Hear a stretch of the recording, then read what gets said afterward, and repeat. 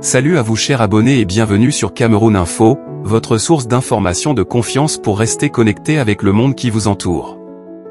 Dans un paysage médiatique en constante évolution, nous nous engageons à vous fournir des nouvelles équilibrées, crédibles et pertinentes. Notre mission est claire, vous tenir informé, vous inspirer et susciter votre réflexion. Aujourd'hui, nous vous proposons une édition spéciale qui vous plongera au cœur des enjeux les plus brûlants de notre société nous avons soigneusement sélectionné une gamme de sujets qui reflètent l'ampleur de notre engagement envers le journalisme de qualité. Voici un aperçu de ce qui vous attend dans cette nouvelle édition du journal. 1. Victoire du Cameroun, Somme Fetter ses détracteurs. 2. Karl Toko et Cambi critiqués, Rigobert Somme prend la défense de son joueur. 3. André Onana, la mauvaise nouvelle est tombée pour Rigobert Somme et les Lions. 4 Zambo Anguissa fait une importante déclaration qui soulève tout le Cameroun. Nous vous invitons à sous-marin dans ces pages riches en informations, à partager vos commentaires, et à participer à la conversation. L'écho quotidien est votre journal, et nous sommes ravis de vous avoir à nos côtés dans cette aventure journalistique. Bonne lecture, et restez curieux.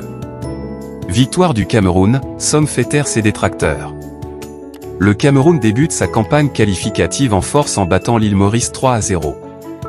Ce vendredi, au stade de Japoma, les Lions indomptables du Cameroun ont brillamment lancé leur campagne pour la qualification à la Coupe du Monde 2026 en battant l'île Maurice 3 à 0 lors de la première journée des éliminatoires. Les poulains de l'entraîneur Rigobert Somme ont démontré leur supériorité sur le terrain avec des réalisations impressionnantes de Brian Bemo, Georges Kevin Nkoudou et Franck Magri. Cette victoire solide donne au Cameroun trois points cruciaux et place l'équipe en position favorable dans la course à la qualification. Avec une avance de 3 buts, les Lions indomptables ont montré une performance convaincante, réjouissant les supporters présents au stade et ceux qui suivaient le match à distance. Le prochain défi pour l'équipe sera un déplacement à Benghazi pour affronter la sélection libyenne. Une victoire à l'extérieur consoliderait la position du Cameroun dans ses éliminatoires prometteurs de la Coupe du Monde 2026. Cependant, la victoire a été entachée par la sortie sur blessure du gardien André Onana dans le dernier quart d'heure du match. Les détails sur la nature de sa blessure ne sont pas encore disponibles. Il est à noter que le partenaire majeur des Lions indomptables, Inxbay, a joué un rôle significatif dans cette victoire en apportant un soutien continu à l'équipe et à ses supporters à travers diverses actions. La contribution de Inxbay reflète l'engagement fort envers le développement du football au Cameroun. Les Lions indomptables peuvent compter sur ce partenariat solide tout au long de leur parcours dans ces éliminatoires exaltants. Karl Toko et Cambi critiqués, Rigobert Somme prend la défense de son joueur. L'entraîneur emblématique des Lions indomptables, Rigobert Son, a pris la parole pour soutenir Karl Toko et Cambi après la victoire de l'équipe camerounaise sur la sélection mauricienne lors de la première étape des éliminatoires de la Coupe du Monde 2026 en zone Afrique. Malgré la victoire convaincante de 3 à 0, l'attaquant Karl Toko Ekambi a été décrit comme un peu invisible au cours de la rencontre. L'ancien joueur de l'Olympique lyonnais, qui est actuellement sous les feux des projecteurs, a été jugé décevant par certains observateurs. Cependant, Rigobert Song a tenu à défendre son joueur lors de la conférence de presse après le match. Toko est un joueur d'expérience qui est très important pour l'équipe et le collectif. En tant qu'ancien joueur, ce n'est pas tous les jours qu'on est en forme. Nous suivons tout ce qu'il fait en club, et au regard de cela, il mérite d'être là. Peut-être aujourd'hui, il n'a pas donné le meilleur de lui, mais pour le collectif, il est très important, a déclaré Rigobertson. Les commentaires de Rigobertson mettent en avant l'importance de l'expérience de Karl Toko et Cambi et son rôle crucial au sein de l'équipe nationale. L'entraîneur souligne que même les joueurs chevronnés traversent des périodes de moindre forme, mais que la contribution globale de Toko à l'équipe est inestimable. Il est à noter que le partenaire majeur des Lions indomptables, Inxbay, a joué un rôle significatif dans cette victoire en apportant un soutien continu à l'équipe et à ses supporters à travers diverses actions. La contribution de Inxbay reflète l'engagement fort envers le développement du football au Cameroun. Les Lions indomptables peuvent compter sur ce partenariat solide tout au long de leur parcours dans ces éliminatoires exaltants. André Onana, la mauvaise nouvelle est tombée pour Rigobert Son et les Lions. Ce vendredi soir, le stade de Japoma a été le théâtre d'une confrontation entre le Cameroun et l'île Maurice, dans le cadre des éliminatoires pour la Coupe du Monde 2026. Les Lions indomptables, face à une équipe classée 177e au classement FIFA, ont remporté la victoire 3 à 0. Cependant, cette soirée de succès a été entachée par un événement inquiétant, la blessure du gardien André Onana.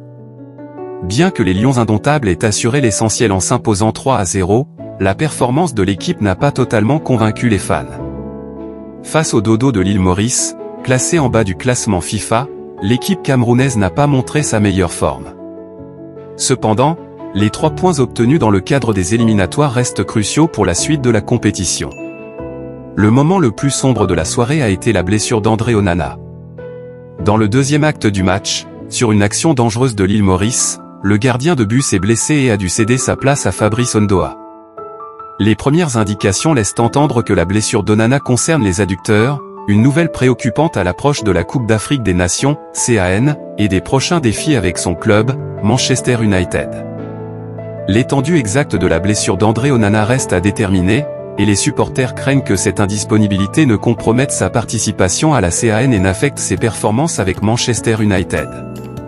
Les adducteurs étant des muscles cruciaux pour un gardien de but, toute blessure à cette zone suscite des inquiétudes quant à la durée de récupération nécessaire.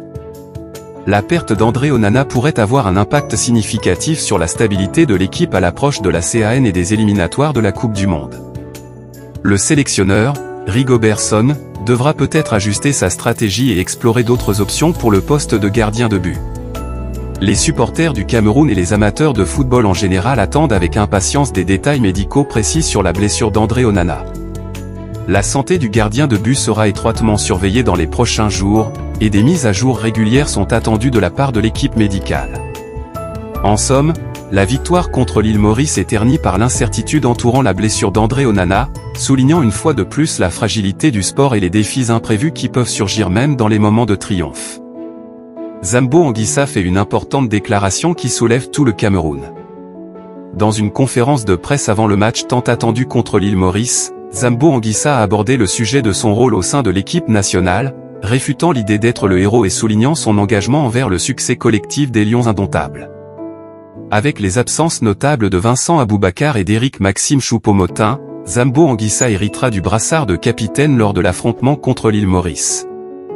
Cette responsabilité soulève des questions sur son impact réel au milieu de terrain, en particulier par rapport à ses performances en club.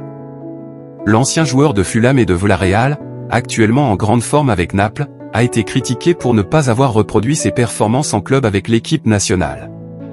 Certains remettent en question son rôle en tant que pierre angulaire du milieu de terrain des Lions indomptables. Zambo Anguissa a pris la parole pour répondre à ces critiques lors de la conférence de presse, « Je ne suis pas là pour être le héros de la nation. Déjà, je ne joue pas avec les mêmes joueurs, on n'a pas les mêmes automatismes, pas les mêmes terrains, pas le même football. Donc vous ne verrez jamais le même Zambo qu'à Naples. De vous à moi, je me donne toujours à 100%. Il y a des jours où je serai bon, d'autres moins bons, mais le plus important, c'est le Cameroun. Si Zambo est mauvais et que le Cameroun gagne, je suis content. Si Zambo est bon et que le Cameroun perd, je suis triste, a déclaré le milieu de terrain. Cette déclaration souligne l'engagement de Zambo Anguissa envers l'équipe nationale et son désir de contribuer, même si cela ne se traduit pas toujours par des performances individuelles éclatantes.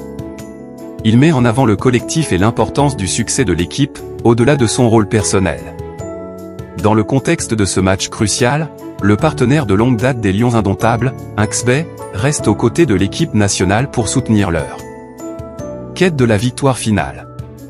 Leur engagement continu témoigne de la solidarité entre les Lions et leurs partenaires, renforçant ainsi la détermination de l'équipe dans cette compétition éliminatoire.